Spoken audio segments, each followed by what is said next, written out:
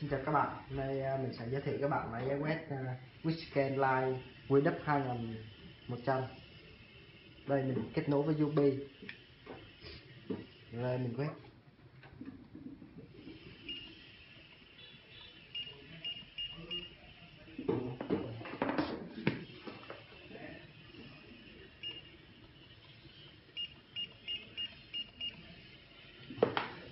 Rồi, vậy là xong. Cảm ơn các bạn đã xem video.